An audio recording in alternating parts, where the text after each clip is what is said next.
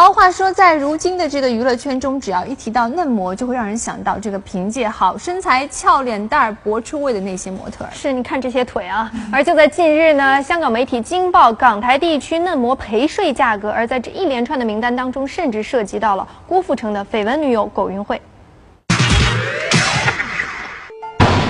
陈静三十万，刘丽十万，徐颖三万，傅嘉丽十万。这一个个数字，正是近期某香港媒体爆出的嫩模陪睡价格。刚刚自说自话宣布要退出演艺圈的陈静，标价为三十万；出演过《无间道二》的傅嘉丽报价为十万；嫩模许莹报价为三万；而近期和郭富城传出恋情的天王嫂苟芸慧，则被开出了一百五十万的高价。虽然苟芸慧的这个价码已经在众女心中脱颖而出，但是以郭富城的天王地位来说，是不是还是低了一点啊？不怕郭天王会生气吗？而这份榜单的排名顺序又是从何而来的呢？这可是有依据的哦，那就是女星们的脸蛋和身材。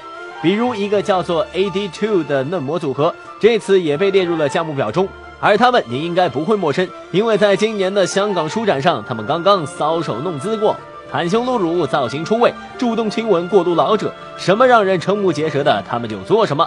那现在就感觉有点是。为了要成名而不择手段的感觉。然而，类似的女星报价单也已经不是第一次出现了。无论是自我炒作，还是联手炒作，亦或是确有其事，这都已经足够让本已混乱的娱乐圈再添乌烟瘴气了。要想出名，靠的不是脸蛋或身材，也不是绯闻和炒作。志玲姐姐说得好，努力才会有收获。自律、自重、自爱，所以这种事情永远不会发生在我身上。我觉得，呃，勤劳努力才。娱乐新天地，嫩模要自重啊！报道。